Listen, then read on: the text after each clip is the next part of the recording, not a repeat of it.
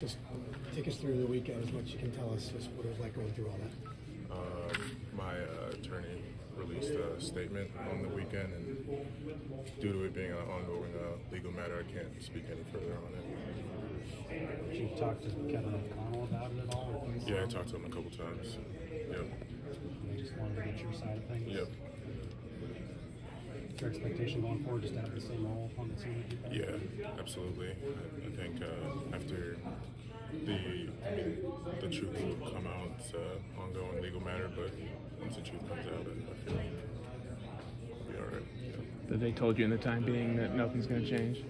So again, They told you in the time being though nothing will change in terms of what you're doing here. And They just told me uh, when I talked to them, yeah, it's gonna uh, as it as it's like going on, as it's being um, processed. Yeah.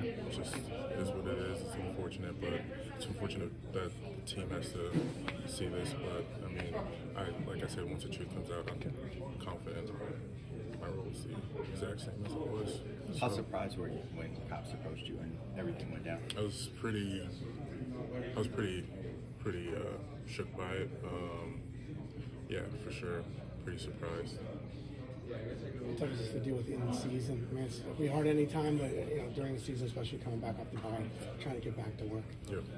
So How tough is it for you to just compartmentalize it and put it away? I'm just ready to get back to work. Put this in the past.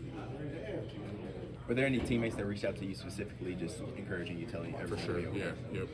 Absolutely. How good did that make you feel? A lot better for sure. Yep.